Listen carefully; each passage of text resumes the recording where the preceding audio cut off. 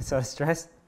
Um, okay, let's go to let's go on to modesty today. Hopefully, I haven't taken too much time there. okay, so now when it comes to modesty, you know, there's not actually really much said in the Bible about modesty. Uh, You know, there's the word um, moderation in one verse in Philippians. There's the word moderately used in, uh, I think, Jeremiah somewhere. Can't remember. And then there's modest, which is the passage that most of us would think about when we think about how to dress and clothing in 1 Timothy 2. And this is it. That actually uses the word modesty. I think there's more said giving us principles about modesty.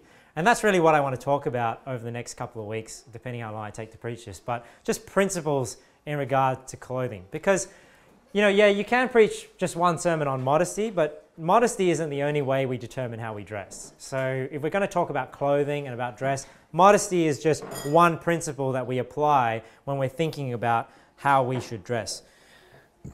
1 Timothy 2 9. In like manner also that women adorn themselves in modest apparel, with shamefacedness and sobriety, not with broidered hair or golds or pearls or costly array, but which becometh women professing godliness with good works. Now there's a similar passage in 1 Peter. It says here, "Likewise, ye wives, be in subjection to your own husbands, that if any obey not the word, that that they also may without the word be won by the conversation of the wives.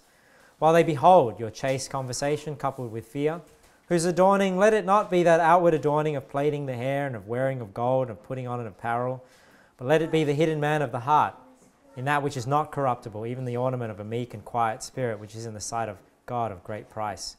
For after this manner in the old time, the holy women also, who trusted in God, adorned themselves, being in subjection unto their own husbands even as Sarah obeyed Abraham, calling him Lord, whose daughters ye are, as long as ye, as ye do well, and are not afraid with any amazement. So we have two passages here alluding to how Christian women ought to dress. Now, before I get into you know what it's actually addressing in these two verses and some thoughts behind them, I just want to address the topic of you know men and modesty. Because when we read these two verses, obviously they're directed at women. They're not directed at men because it, it's, not a, it's, not a, it's not a masculine attribute to be overly concerned about your appearance. You know, it's a feminine attribute to want to be beautiful, to want to do up your hair, to want to be noticed and be attractive. It's not a masculine um, uh, attribute. So I think a man that is overly concerned about his appearance is being girly. You know, it's, it's, a girly thing to do. Like you, you care, like you want to look beautiful, you want to beautify yourself. Now that doesn't mean that a man should not be concerned about his appearance at all. But you know, it's like there's a difference between you know being neatly presented, right? You know, you want to be clean cut because you've got a job interview, or you want to you don't want to look like a like a, like a like a shame, right? Um, to, to like you know people that you know carry a comb with them and they're just constantly like doing their hair and they're obsessed with their hair. You know, there's, there's a difference obviously between staying in shape and wanting to be fit and you know wanting to be like the next Arnold Schwarzenegger, right? And just obsessing. You know, you see, I remember like when when I used to go to the gym with my friends, and you see those guys in front of the mirror, and they're just like, yeah, like looking. I mean, there's a difference between just wanting to stay in shape and and being obsessed with your figure and your and your body image. You know, um, you know, wanting to be presentable, how you dress, and you know, dressing to your mood. You know, and like just having an outfit for you know every day of the week or whatever, right? um, there's a difference. You know, it's like having having decent shoes for the task. You know, I'm all for quality, right? Like having decent shoes to do. You know, we play futsal. You know, I bought some futsal shoes, but I'm not gonna like have shoes for just different days of the week. You know, I feel like green today, so I've got my green shoes. I feel like red today, I got my red shoes. You know, shoes to match different outfits. I always felt that guys that obsessed about shoes were just so girly. You know, like, and then they'd have their like their shoes all displayed at home. Like, you know, which one are they gonna wear today? Like, if you take more than two minutes to decide, or not even that, if you take more than five seconds to decide what shoes you're gonna put on, you've got too many shoes as a guy, right? Like, man, a girl, like, it's a bit different, right? Because girl, girls are girls, and there's a place for girls to want to doll up a bit, um, but not guys. I always felt that guys that obsessed about shoes, they were just so girly. You know, they'd go to those those shoe shops, and you know, that's why, like, you know, I went to Alex's place, Alex's shop to buy bunch, uh, like some soccer shoes. I can't even just buy like a plain pair of soccer shoes because guys are so girly these days that the soccer shoes need to be bright pink, bright green, bright orange. Can I just get a black and white pair of soccer shoes these days?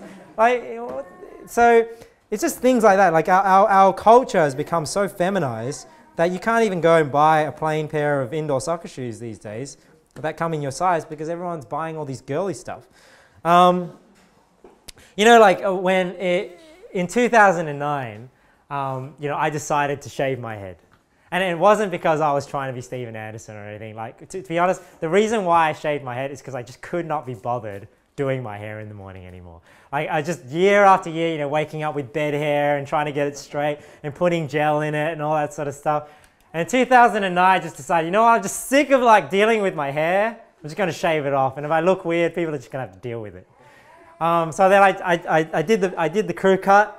And people were like, whoa, at first, like they thought I was a monk and everything like that. But then now they just think, oh, that's just Victor. Victor just has hair like that. And then, like, great. So I just felt like, oh man, my haircut, it just, it just freed me from the shackles of vanity. You know, because I just didn't, I can wake up in the morning, to worry, don't even, it's not even give it a thought. It's just you wake up, it's perfect, it's done.